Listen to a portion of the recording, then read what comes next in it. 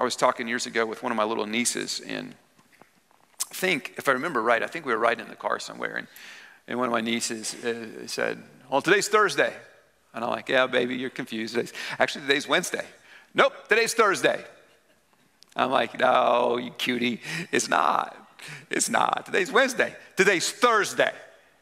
You're in conversations with kids, and sometimes they're cute, and then sometimes they just get annoying, right?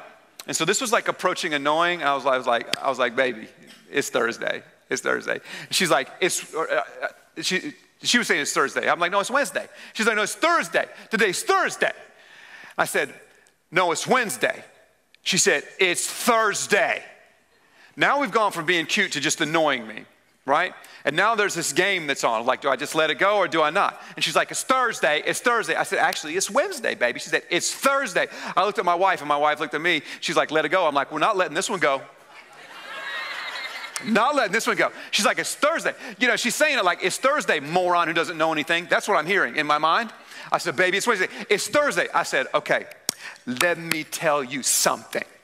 I said, how old are you, baby? She, and I don't remember, she was like, seven. I said, Well, let me tell you something. I'm not seven.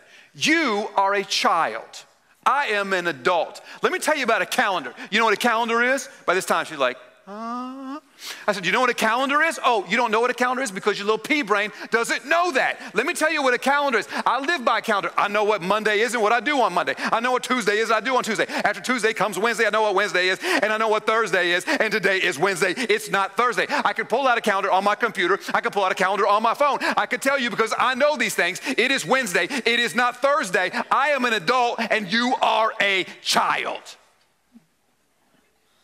End of conversation. Okay. Now, how many times do we come to God and say, God is Thursday? This is the way that it is. And God's like, let me remind you who you are. And let me remind you who you are not. You're not the one who lives outside of time. You're not the one who created all things seen and unseen. You're not the one who loved the world enough to give your only son. Let me tell you who you are not. Don't forget who you are.